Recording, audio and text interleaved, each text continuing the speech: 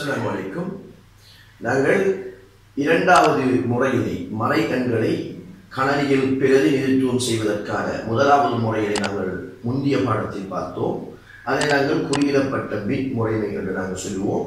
அதில் அந்த எண்கணித செய்திகளின் போது எங்களுக்கு சரியான வழிவழிவுகளை தரவில்லை என்பதற்காக வேண்டி நாங்கள் இரண்டாவது முறையினை நோக்கி நகர்கின்றோம். இரண்டாவது முறையை நாங்கள் சொல்லலாம். ஒன்றின் நிரப்பி ஒன்றின் நிரப்பியும் எட்டு பிட் நீள துரித எண்களாகவே காட்டப்படும்.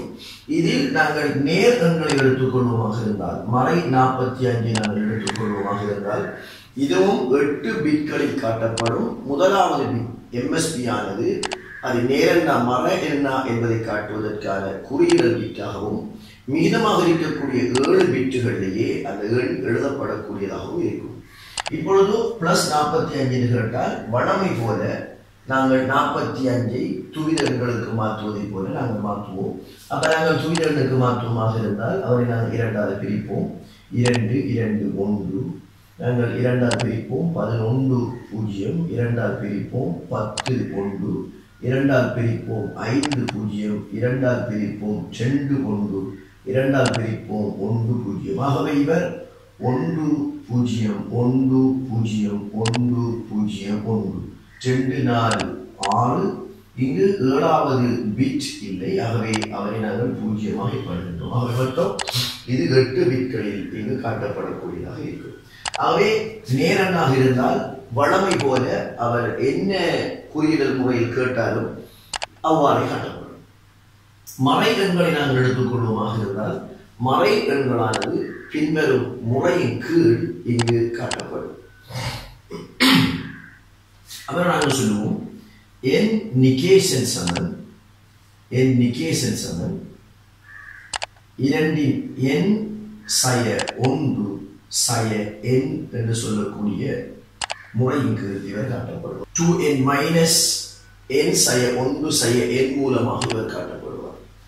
இதில் என் நிகேஷன் என்று சொல்லக்கூடியது யாதென்று கேட்டால் து இதை ஒன்றின் நிரப்பி எண்ணாக காட்டுவதற்கான தசமம் ஒன்றின் நிரப்பி எண்ணாக ஒன்றின் நிரப்பி துவித எண்ணாக காட்டுவதற்காக உள்ள தசமம் ஆகவே ஒன்றின் நிரப்பி அவை ஒன்றின் நிரப்பி துவித எண்ணாக காட்டுவதற்கான தசமம் எண் என்பது பிட்களின் எண்ணிக்கை இது பொதுவாக எட்டு பயன்படுத்தப்படும் அல்லது வினாவில் எங்களுக்கு எத்தனை பிட்டுகள் என குறிக்கப்படும். எண் என்பது தரப்பட்ட மறை எண்ணின் நேர் மறை எண்ணின் நேர் அவை இந்த முறையை பயன்படுத்தியே எங்களுக்கு ஒரு மறை எண் ஆனது இங்கு ஒன்றி நிரப்பியதாக காட்டப்படும். உதாரணம் நாங்கள் இந்த நாற்பத்தி அஞ்சினை எடுத்துக்கொள்வோம். இந்த நாற்பத்தி அஞ்சினை நாங்கள் காண வேண்டுமாக இருந்தால் என் நிகேஷன். ஆகவே இப்பொழுது எங்களுக்கு தரப்பட்ட எண் மறை நாற்பத்தி அஞ்சு. மறை நாற்பத்தி அஞ்சினை துவித எண்ணாக காட்டுவதற்கான ஒன்றி நிரப்பி துவித எண்ணாக காட்டுவதற்கான தசம எண் என்ன என்பதை நாங்கள் காணப்போகின்றோம். ஆகவே என் சமன் எத்தனை பிட்டுகள் என்று கேட்டால் எங்களுக்கு இங்கு எட்டு விட்டுகள் அவை டூ என் மைனஸ் ஒன்று சய என் இப்பொழுது எத்தனை பிட்டுகள் என்று கேட்டால் எங்களுக்கு எட்டு பிட் சய ஒன்று சய என் தரப்பட்ட மறை எண்ணின் நேர்கள் நாற்பத்தி அஞ்சு. இனி நாங்கள் இருநூத்தி ஐம்பத்தி ஆறு சய ஒன்று சய நாற்பத்தி ஐந்து என்று கேட்டால் இருநூத்தி ஐம்பத்தி ஆறு ஒன்றை கழித்தால் இருநூத்தி ஐம்பத்தி ஐந்தில் நாற்பத்தி ஐந்தை கழித்தால் எங்களுக்கு இருநூற்றி ஐ இருநூற்றி பத்து எங்களுக்கு விளைவாக கிடைக்கும். அவை இருநூத்தி பத்து என்பது எங்களுக்கு என் நிகேசனாக இருக்கும். அவை என் நிகேசன் சமன் இருநூற்றி பத்து. இந்த இருநூற்றி பத்து இரண்டு கேட்டால் ஒன்றின் நிரப்பி துவித எண்ணாக காட்டுவதற்கான தசம எண்ணாக இருக்கும். ஆகவே இப்பொழுது மலை நாற்பத்தி அஞ்சு என்பது இருநூத்தி பத்தினை நாங்கள் துவித எண்ணாக மாற்றினால் கிடைக்கக்கூடிய விளைவாக இருக்கும். இப்பொழுது நாங்கள் அதனை மாற்றுவோம். இதனை இருநூற்றி பத்தினை நான் துரிதனாக பிரிப்பதினூடாக மாற்றுகின்றேன். ஆகவே இருநூற்றி பத்து இரண்டால் பிரிக்கின்றேன். ஒன்று சைபர் அஞ்சு எங்களுக்கு மிகுதி பூஜ்ஜியம். நான் இரண்டால் பிரிக்கின்றேன் ஐந்து ரெண்டு ஒன்று. நான் இரண்டால் பிரிக்கின்றேன் எனக்கு இருபத்தி ஆறு மிகுதி பூஜ்ஜியம். நான் இரண்டால் பிரிக்கின்றேன் எனக்கு பதிமூணு மிகுதி பூஜ்ஜியம். நான் இரண்டால் பிரிக்கின்றேன் ஆறு ஒன்று. இரண்டால் பிரிக்கின்றேன் மூணு பூஜ்ஜியம். இரண்டால் பிரிக்கின்றேன் ஒன்று ஒன்று. அவை ரெண்டு நாலு ஆறு எட்டு வித்துகளில் வறுவடை எங்களுக்கு கிடைக்கும். ஆகவே ஒன்று ஒன்று. நூற்றி இருபத்தி எட்டு அறுபத்தி நாலு தொண்ணூற்றி ரெண்டு பதினாறு முப்பத்தி ரெண்டு பதினாறு நூ இருபத்தி எட்டு பூஜ்ஜியம் பூஜ்ஜியம் ரெண்டு பூஜ்ஜியம் ரெண்டு நாலு ஆறு எட்டு. அவை மறை நாற்பத்தி அஞ்சு என்பது எங்களுக்கு பின்வருமாறு காட்டப்படும். அவை அதற்காக இருக்கக்கூடியது கடலில் எவ்வாறு அது மாற்றப்படும் என்பதுதான் இங்கு காட்டப்படுகின்றது. அவை என் நிகேசன் சமன் டூ என் மைனஸ் ஒன்று சை என் இங்கு இந்த குறியீட்டில் எண்ணுக்கு எட்டு வீச்சுகள் எட்டு வீச்சுகளில் காட்ட வேண்டும் என்பதற்காக. இங்கு எண் என்பது மறை நாற்பத்தி நாற்பத்தி அஞ்சு இந்த மறை நாற்பத்தி அஞ்சு நேர் எண்ணாக கொள்ளப்படும். இப்பொழுது கழிக்கின்ற பொழுது இருநூத்தி பத்து கிடைக்கும். இந்த இருநூத்தி பத்தினை நாங்கள் துவித எண்ணாக மாற்றினால்தான் மறை நாற்பத்தி அஞ்சுக்கான ஒன்றிலிருந்து என்பது கிடைக்கும். இதை நாங்கள் முறை ஒன்று என்று நாங்கள் சொல்லலாம். இதனை முறை நாங்கள் ஒன்று என்று நாங்கள் சொல்லலாம். இதனை நாங்கள் இன்னொரு முறையினூடாகவும் என்ன செய்யக்கூடியதாக இருக்கும் என்று சொன்னால் இதனை நாங்கள் காணக்கூடியதாக இருக்கும். ஆகவே அந்த முறை இரண்டினை நாங்கள் இங்கு காட்டுகின்றோம். முறை இரண்டு. நாங்கள் இப்பொழுது இரண்டாவது முறையினை நாங்கள் பார்ப்போம். இரண்டாவது முறை நாங்கள் எடுத்துக்கொள்வோமாக இருந்தால் தரப்பட்ட மறை எண்ணின் நேர் எண்ணினை முதலில் நாங்கள் காண வேண்டும். ஆகவே தரப்பட்ட மறை எண்ணின் நேர் எண்ணினை எட்டு பிட் நீள துவியலாக நாங்கள் மாற்றுவோம். அவை நாங்கள் இங்கே ஏற்கனவே மாற்றிருக்கிறோம் என்னது பூஜ்ஜியம் பூஜ்ஜியம் ஒன்று பூஜ்ஜியம் ஒன்று ஒன்று பூஜ்ஜியம் ஒன்று இரண்டாவது ஸ்டெப் அதில் என்ன அப்படி என்று கேட்டால் இந்த பூஜ்ஜியங்களுக்கு ஒன்றையும் ஒன்றுகளுக்கு பூஜ்ஜியத்தையும் நாங்கள் பிரதியீடாக வழங்க ஆகவே நாற்பத்தி ஐந்து என்று கேட்டால் இங்கு பூஜ்ஜியங்களுக்கு ஒன்றும் பூஜ்ஜியங்களுக்கு ஒன்றும் ஒன்றுகளுக்கு பூஜ்ஜியமும் இங்கு பிரதியீடாக வழங்கப்படும் ஆகவே அது அவ்வாறு மாற்றப்படும் அவ்வாறு மாற்றுகின்ற பொழுது எங்களுக்கு இங்கு நாங்கள் இந்த டூ என் மைனஸ் ஒன்று சய எண் மூலமாக பெற்றுக்கொண்ட விளைவும் இந்த விளைவும் சமனாக அவை இதுதான் கடலியில் இது ஒன்றின் நிரப்பி மாற்றுகின்ற முறையாகவும் இதனை நாங்கள் இவ்வாறு இலகுவாக கணிக்கக்கூடியதாகவும் இருக்கும். ஆகவே இந்த முறை இரண்டு தரப்பட்ட மறை எண்ணின் நேர் எண்ணானது எட்டு பிட் நிற துரித எண்ணாக வளமை கொண்டு மாற்றப்படும். அதற்கு பிறகு அதனுடைய பூஜ்யங்களுக்கு ஒன்றும் ஒன்றுகளுக்கு பூஜ்ஜியமும் பிரதியீடாக வழங்கப்படுவதற்காக எங்களுக்கு இந்த விளைவு பெற்றுக்கொள்ளக்கூடியதாக இருக்கும் இதில் நாங்கள் அடுத்த விடயம் ஒன்றினை பார்க்க வேண்டும் என்று கேட்டால் இந்த முறையினை பயன்படுத்தி ஆகக்கூடியது என்ன எண்களை நாங்கள் காட்ட முடியும்? அப்படி என்று கேட்டால் நேர் எண்களாக இருந்தால் பூஜ்ஜியம் ஒன்று ஒன்று ஒன்று ஒன்று ஒன்று ஒன்று ரெண்டு நாலு ஆறு ஏழு ஒன்று எட்டு. ஆகவே நேர் எண்களாக இருந்தால் நேர் நூற்றி இருபத்தி ஏழிலையும் மறை எண்களாக இருந்தால் மறை எண்களாக இருந்தால் எங்களுக்கு மறை எண்களாக இருந்தால் ஒன்று பூஜ்ஜியம் பூஜ்ஜியம் பூஜ்ஜியம் பூஜ்ஜியம் பூஜ்ஜியம் பூஜ்ஜியத்தினையும் எங்களுக்கு காட்ட முடியும். அதல்லது ஒன்று பூஜ்ஜியம் பூஜ்ஜியம் என்று கேட்டால் இவர் மறை நூற்றி இருபத்தி ஏழினையும் எங்களுக்கு காட்ட முடியும். அவை நேர் கண்களாக இருந்தால் ஆகக்கூடியது மறை நேர் நூற்றி இருபத்தி ஏழினையும் மறை எண்களாக இருந்தால் மறை நூற்றி இருபத்தி ஏழு வரையான எண்களையும் இந்த எட்டு பிட் நீள ஒன்றி நிரப்பியில் எங்களால் காட்டக்கூடியதாக இருக்கும். இனி நாங்கள் இந்த பின்வரும் எண்களை ஒன்றி நிரப்பி எண்களாக தருக இதுதான் எங்களுக்கு எக்ஸாமுக்கு வரக்கூடிய சில பகுதிகளாக இருக்கும். ஆகவே இந்த எண்ணினை இந்த எண்களினை நாங்கள் ஒன்றி நிரப்பி இனி காட்டுவோம்.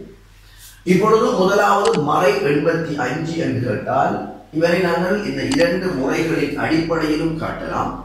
இப்ப நான் முதலாவதினை இந்த முறையிலும் இரண்டாவதினை நாங்கள் இரண்டாவது முறையின் கீழும் நாங்கள் காட்டுவோம். ஆகவே எங்களுக்கு எது இலகு என்று சொன்னால் இந்த தரப்பட்ட முறை எங்களுக்கு இலகு என்பதனால் இந்த முறையினையே நாங்கள் பின்பற்றுவோம். ஆகவே இங்கு மறை எண்பத்தி ஐந்து என்று கேட்டால் முதலில் நேர் எண்பத்தி ஐந்து என பெற்றுக்கொள்வோம்.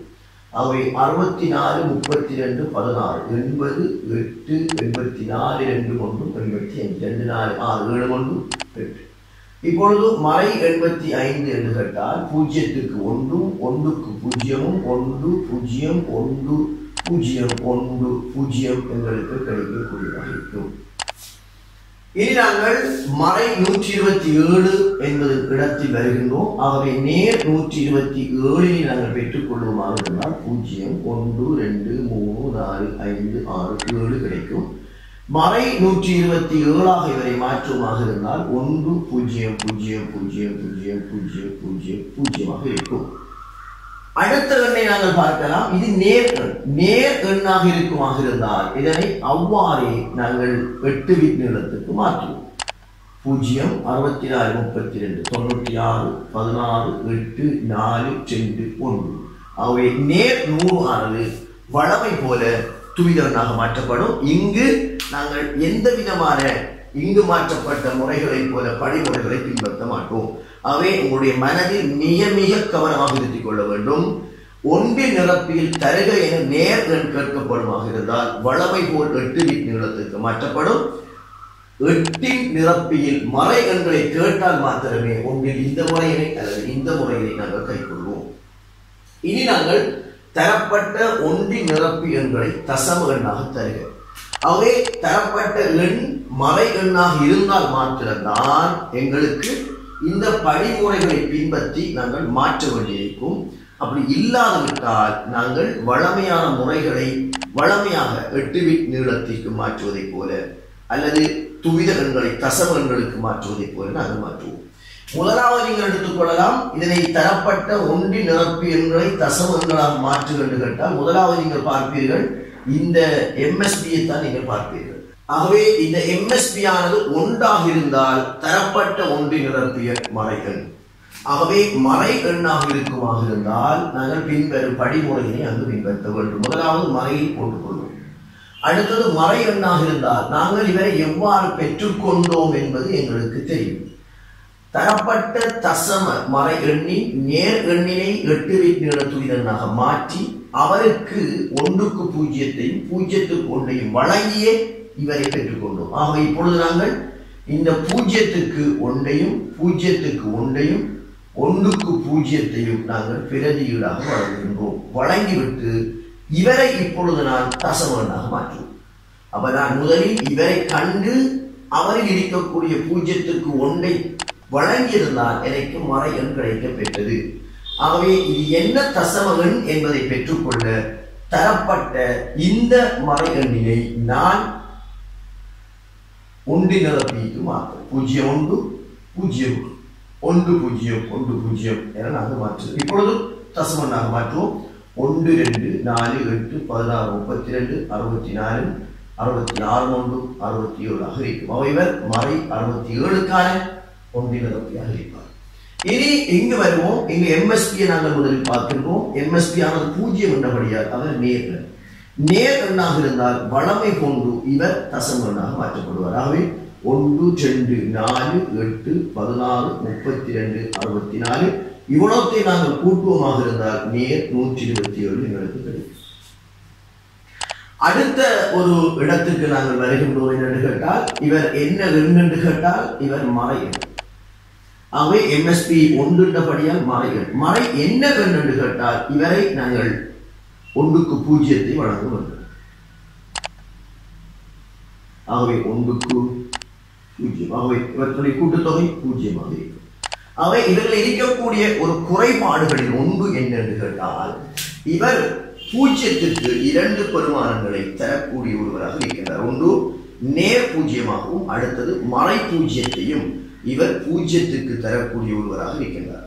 ஆகவே இங்கு பூஜ்ஜியமானது பூஜ்ஜியம் தான் அதுக்கு நேர்மறை பெருமானங்களிலே இது ஒன்றின் நிரப்பில் இருக்கக்கூடிய ஒரு குறைபாடாக நாங்கள் கொள்ளலாம். அடுத்த நாங்க பார்க்கலாம் ஒன்றின் நிரப்பு எண்களை கூட்டுதல். கூட்டுதல் என்று சொல்லிவிட்டு இங்கு கழித்தல் அடையாளங்களும் தரப்பட்டு இருக்கின்றது. ஆகவே அது எவ்வாறு கூட்டலாக மாற்றப்பட்டு அந்த செய்தி மேற்கொள்ளப்படுகின்றது என்பதை நாங்கள் பார்ப்போம். இப்பொழுது நான் நாற்பத்தி ஐந்து சய நாற்பத்தி ஐந்து கூட்டுகின்ற பொழுது பூஜ்ஜியம் பெறப்பட வேண்டும். பூஜ்ஜியம் கிடைக்கின்றதா என நாங்கள் பார்ப்போம். நாற்பத்தி அஞ்சினை நாங்கள் மாற்றுகின்ற பொழுது பூஜ்ஜியம் அறுபத்தி நூற்றி இருபத்தி எட்டு அறுபத்தி நாலு முப்பத்தி ரெண்டு பதினாறு எட்டு முப்பத்தி ரெண்டு மட்டும் நாற்பது நாற்பத்தி நாலு ரெண்டு மூன்று நாற்பத்தஞ்சு ரெண்டு நாலு ஆறு எட்டு.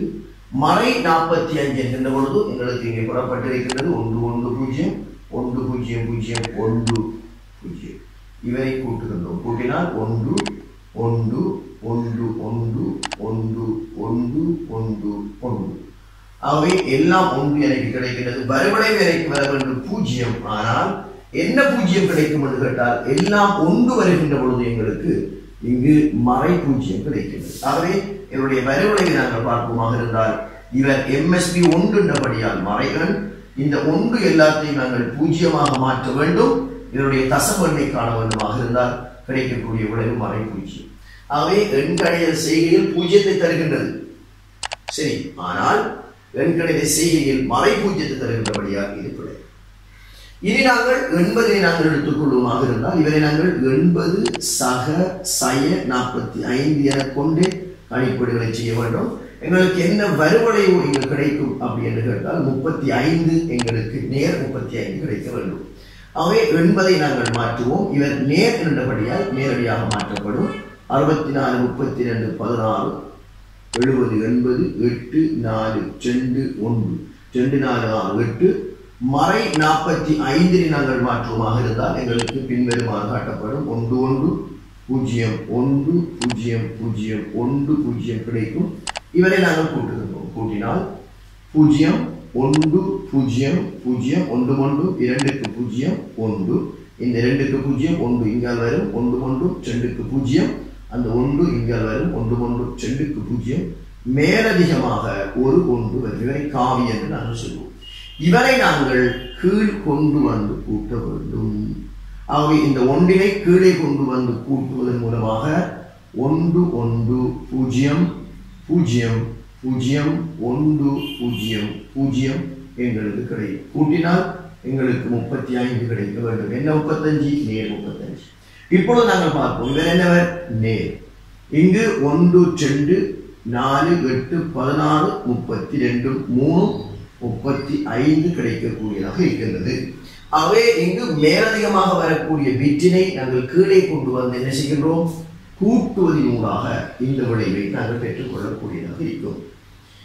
இனி நாங்கள் அடுத்த ஒரு ஆளை நாங்கள் பார்க்க உள்ளோம். இவரை நாங்கள் பார்க்கலாம் என்று கேட்டால் என்னுடைய இதனுடைய எங்களுக்கு என்னுடைய விளைவை நான் நூற்றி முப்பது வரும். ஆகவே இவரை நான் ஒரு ஐம்பத்தி ஏழாக மாற்றுகிறேன்.